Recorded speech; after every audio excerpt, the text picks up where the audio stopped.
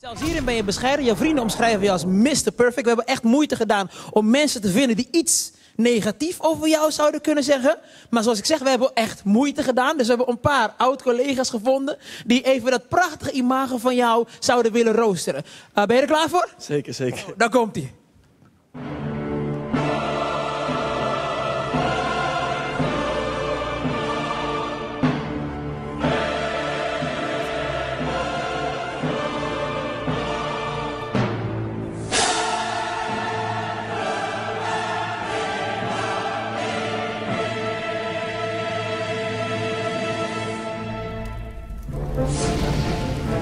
Matthijs, ik weet nog dat je voor het eerst binnenkwam bij Ajax.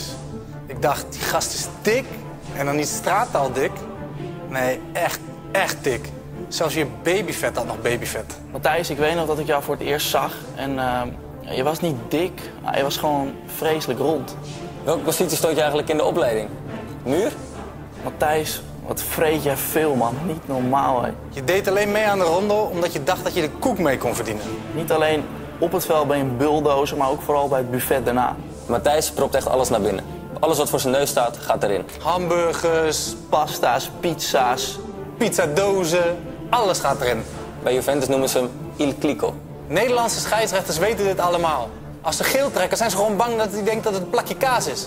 Matthijs is altijd onwijs vroeg wakker. Om te trainen. Trainen. Nou, trainen. Het is meer uh, Nederland in beweging aanzetten. En hij gaat ontbijten. Sommige mensen noemen Matthijs een alleskunner, maar dan hebben ze hem nooit horen zingen. Als Matthijs onder de douche begint te zingen, vliegt er gelijk alles door de kleedkamer. Dat blikje van de Halsema, dat was echt geen toeval. Dat was ervaring. Oké.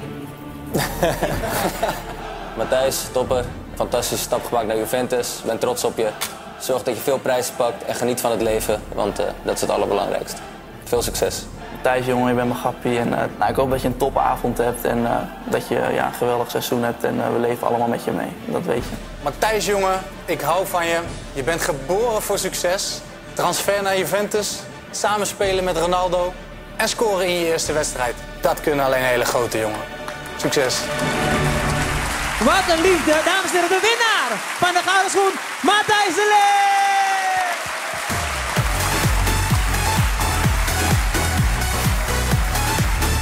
Matthijs, je mag ze nu allemaal terugpakken. Wat terugpakken? Uh, ja, ten eerste uh, erg verrast. Ik had het niet verwacht, moet ik even zeggen. Maar uh, hartstikke leuk. ja, ik denk dat de, de, kracht van ons elftal ook was dat we, dat we ook dingen konden, tegen elkaar konden zeggen. En ja, dit soort dingen werden vaak tegen elkaar in de kleedkamer genoemd. Dus nee, ik kan het wel hebben van die jongens.